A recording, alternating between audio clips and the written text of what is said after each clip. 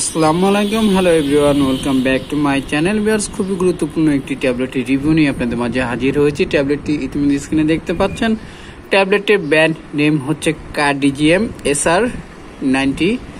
এই ট্যাবলেটটি কোন কোম্পানি প্রস্তুত করেছে? এর গেট আপ এর ডোজ, এর প্রকৃত মূল্য এবং এর পার্শ্ব প্রতিক্রিয়া, এর সেবনবিধি এবং ডাক্তার কি কি রোগের জন্য সাজেস্ট করে থাকে, সকল বিষয় নিয়ে আলোচনা করতে যাচ্ছি। ততক্ষণ আমাদের পাশেই থাকবেন। বিয়ার্স কার্ডিজেম এসআর নাইনটি এই ট্যাবলেটটি প্রস্তুত করেছে ড্রাগ ইন্টারন্যাশনাল লিমিটেড। এর প্রতিটি বক্সে পঞ্চাশটি ট্যাবলেট রয়েছে। পঞ্চাশটি ট্যাবলেট মূল্য নির্ধারণ করা হয়েছে তিনশত টাকা। কার্ডিজেম এসআর এর রিলিজ ট্যাবলেটে আছে diltiazem hydrochloride USP ninety milligram.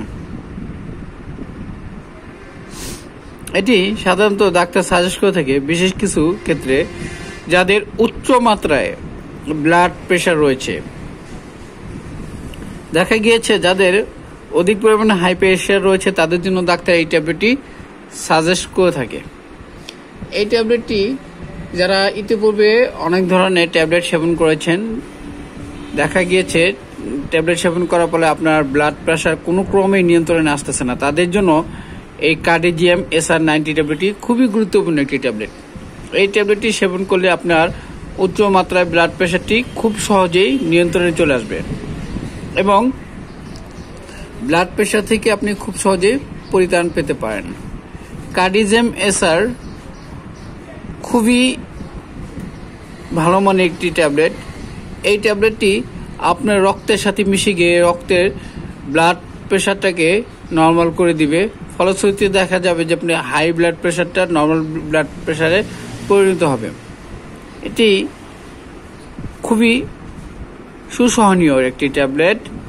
এই ট্যাবলেটটি ডোজ।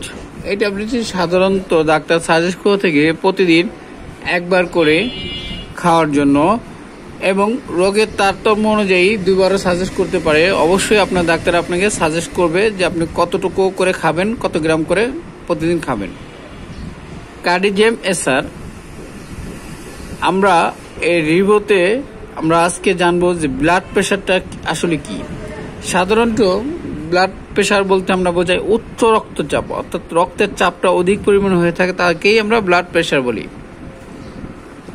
দেখা গিয়েছে আরও ব্লাড প্রেশার নিয়ন্ত্রণ রাখার জন্য অবশ্যই কিছু টিপস আমি এই ভিডিওতে দিয়ে দিচ্ছি ট্যাবলেটের পাশাপাশি। যে আপনি ব্লাড প্রেশারটিকে নিয়ন্ত্রণ রাখার জন্য অবশ্যই রেস্টে থাকবেন এবং ভাতে লবণ কম খাবেন। লবণ না খাওয়াটাই বেটার ভাতে লবণ খাবেন না। এবং তৈলাক্ত খাবার খাবেন না। আপনার যদি হাইপার টেনশন থাকে, অর্থাৎ হাইপার টেনশনে ভোগেন, অবশ্যই কোনো ধরনের টেনশন করা যাবে না এবং ডিপ্রেশনে ভোগা যাবে না। সেদিকে অবশ্যই খেয়াল রাখতে হবে। আপনি জোরে চিল্লিয়ে কথা বলবেন না। এবং খুবই ঝুঁকিপূর্ণ কোনো কাজ আছে যে সেগুলো করতে যাবেন না, ভারী কিছু ওজন উঁচা করবেন না এবং খুব কঠোর পরিশ্রম করবেন না। এ থেকে আপনি বিরত থাকবেন। দেখা গিয়েছে অনেক সময় মুরগির চামড়া এবং হাঁসের ডিম ইত্যাদি খেয়েও ব্লাড প্রেশার বেড়ে যেতে পারে। সেদিকে অবশ্যই লক্ষ্য রাখতে হবে, সেগুলো খাওয়া যাবে না। ব্লাড প্রেশার নর্মাল রাখার জন্য আপনার মন মানসিকতা মন মানসিকতা এবং রেস্ট খুবই জরুরি।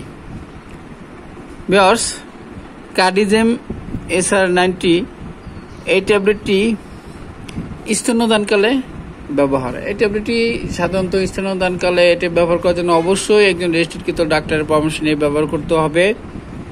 এবং গর্ভাবস্থায় এটি ব্যবহার।